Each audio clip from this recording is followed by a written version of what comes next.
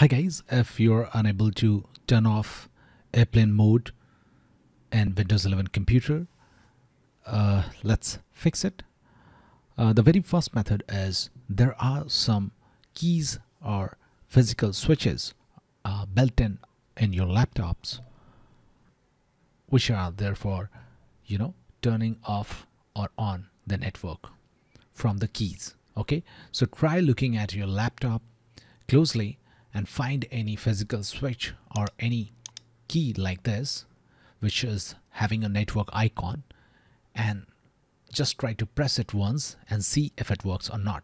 Because it may be that you have disabled it uh, has been disabled directly from the laptop itself using a key accidentally. Now if this is not the problem let's move to another method. Just search services. Now click on services. Now locate radio management service. Okay just locate the service double click on it. Now make sure the startup type is automatic. And now if it is not running click on start to start it. Then click on apply and click on OK and then just restart your computer or just try it once whether it works or not. If it not works just restart your computer and see if it works or not because in most of the cases this fixes the issue. Now if this also does not fixes your issue there is one more thing which you can do and that is just search device manager in the search box. Now click on device manager. Now double click on network adapter to expand it.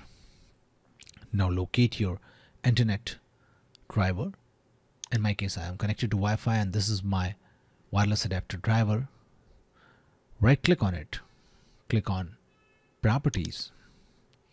Now click on power management tab. And now uncheck this option. Allow the computer to turn off this device to save power uncheck this option. Click on OK and I close the device manager and see if it works or not. Now if this also does not work you can try doing it from the settings itself. Just right click on the start button and then click on settings. Now click on network and internet from the left menu. And on the right side scroll down and find option of airplane mode. Just turn this off and on from here. That's it guys. Please do like the video to support